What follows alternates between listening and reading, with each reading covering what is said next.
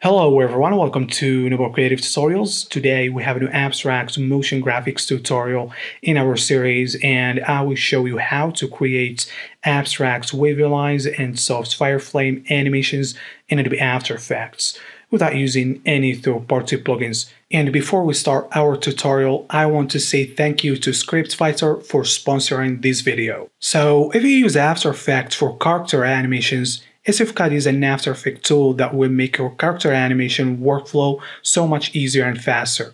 With one single click, you can load your character items on SF Caddy panel and then you can select the item that you want to replace. Each click on an item in the panel will switch to the selected item and add a keyframe on the timeline.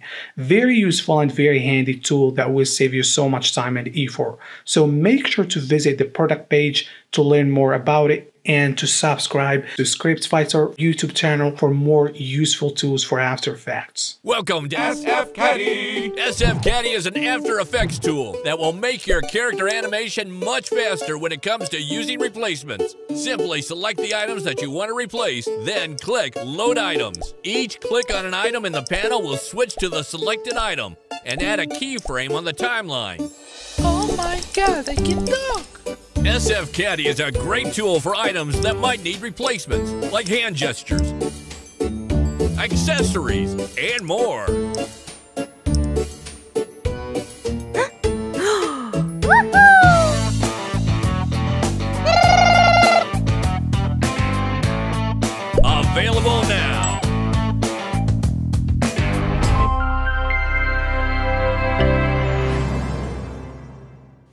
So make sure comp settings are the same as this one and hit OK. And don't forget to set it to 8 bits per channel for now and create a new solid in the reanimate to lines and make sure it's white and hit OK.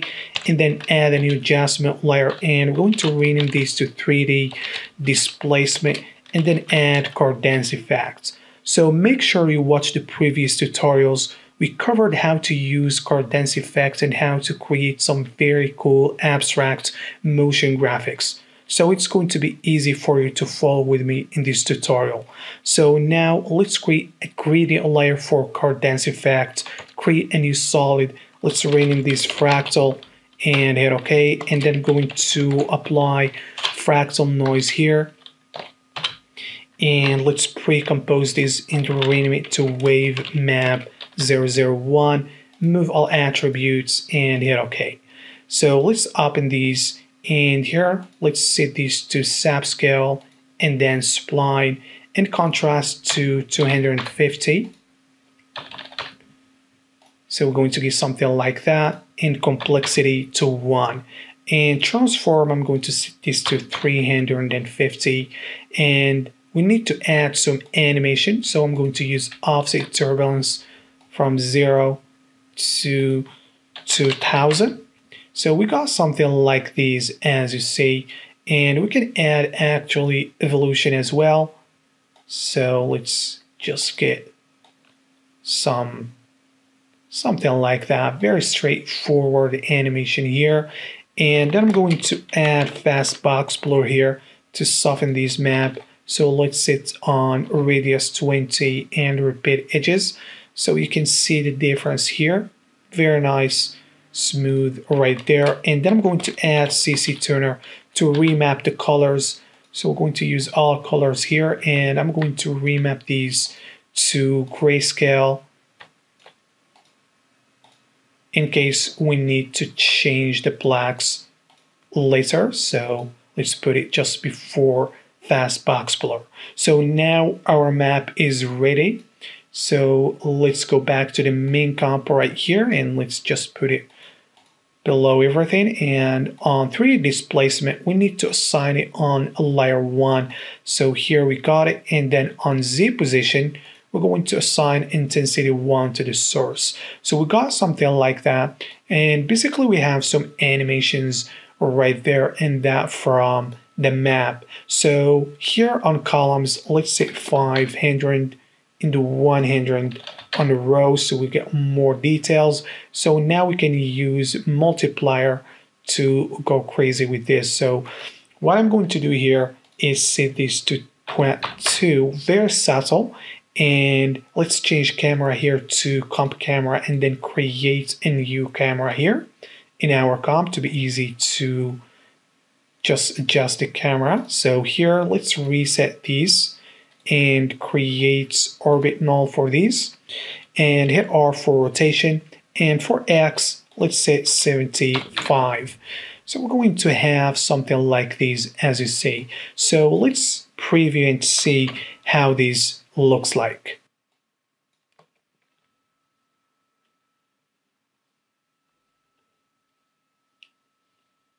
So as you see, the animation look pretty cool, but we need to work on look to make it look very interesting and to fix the problems that we will see. So now if we crank up these settings here, rows and columns, we're not going to get this soft look on this. And plus it's really slow to render as you see here. So it take a little bit of time and the look we are going to get, it's not what we want. So as you see here, we got a few problems there.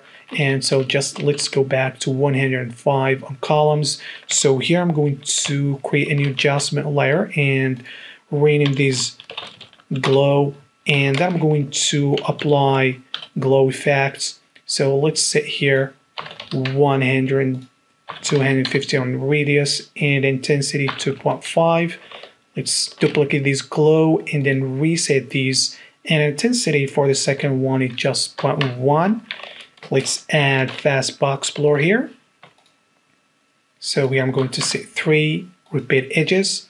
You can see we got something like this. And then I'm going to go back to this 3D displacement and then add CC cross blur here. So here we have radius X and Y. We have blending mode. So here I'm going to set 50 and repeat edges, duplicating this and changing blending mode to add and just really set it to 40 here. So you can see what we got. It look really smooth now, but well, we got these look, it doesn't look right. So on lines layer, we're going to add Venetian blinds here and set width to one. And then if we change here transition completion, it's going to control the glow right there. So here I'm going to go for 99. So that's look pretty cool now. You can see we got some nice highlights and it look really soft and smooth. So let's just go to glow and add CC Toner to remap colors. Let's go for color here, hue and get bluish look. So just 200 on the hue. And so you can see here, now we remap the colors. Let's duplicate these, changing the glow to overlay for a second one. And let's add curves. And on alpha, I'm going to just draw a nice curve here. And let's adjust these a little bit, something like these you can actually turn off the second one so it just depends on the look you're looking for. So you can see here the difference and we can duplicate these and this time I'm going to choose add and we're going to put these maybe to 50 and maybe for this one we can keep these or just remove it. So it depends on your settings. So let's preview and see how this looks like.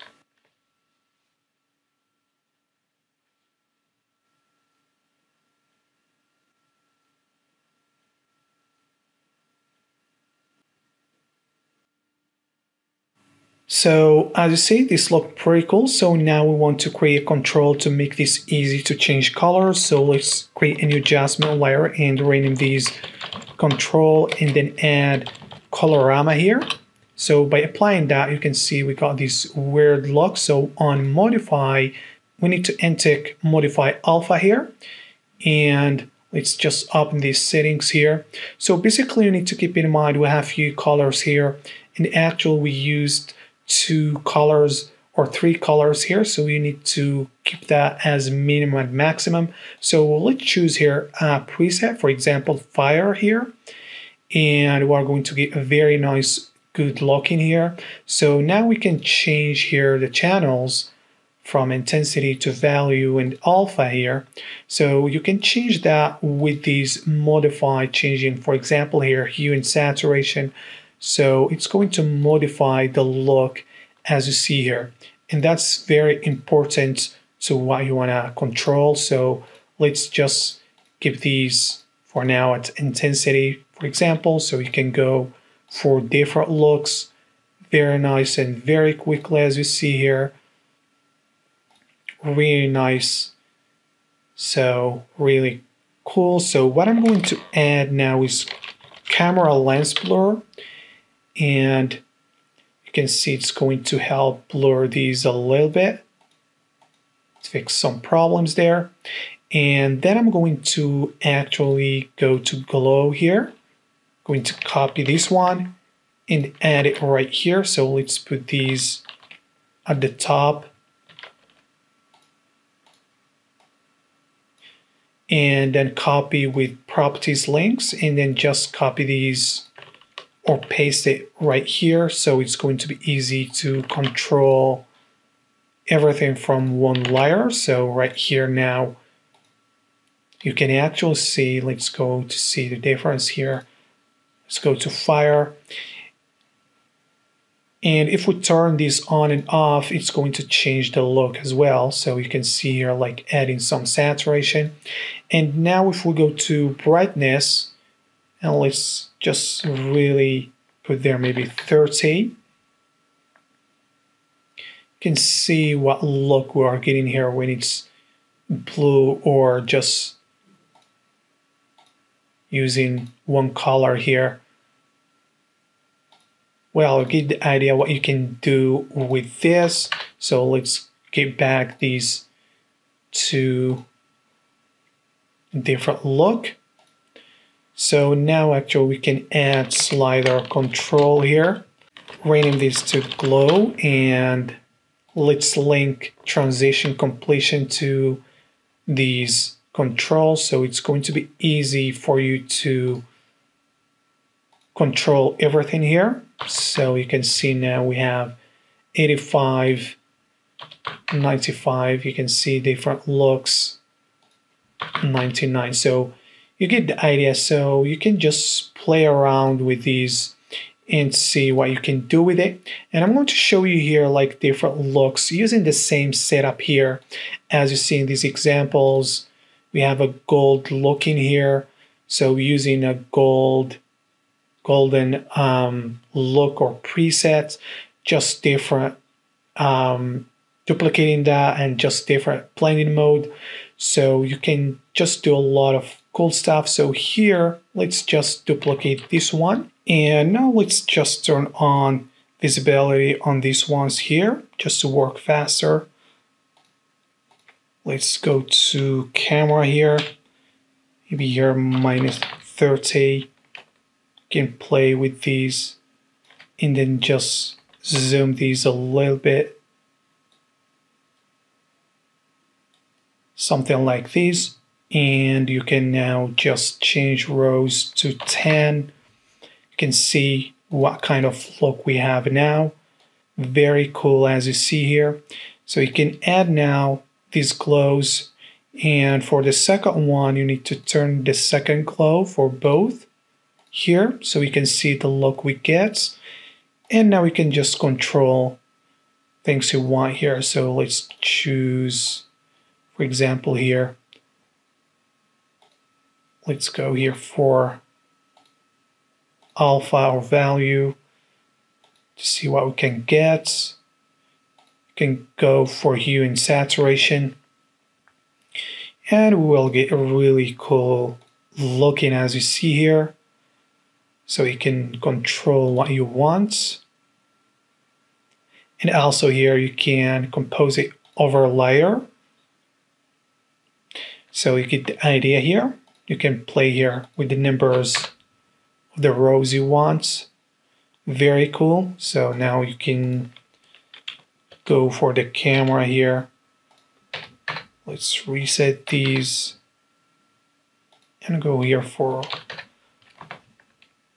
something like these as you see. So you got a lot of flexibility to create some very cool stuff and you can also um, add a second one. So I want to show you here this example here.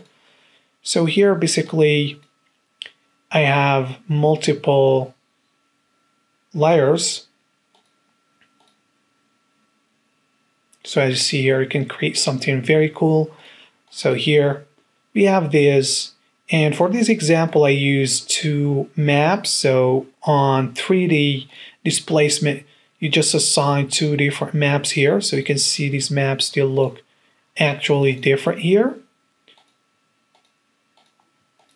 And you can create these by duplicating the second one, adding a mask, and then just animating that mask. So you can see here, you can turn on the fractal, and you can add these remap here using colorama here and actually that's quickly it's going to change the look as you see here.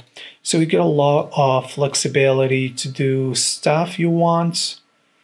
And for the golden one here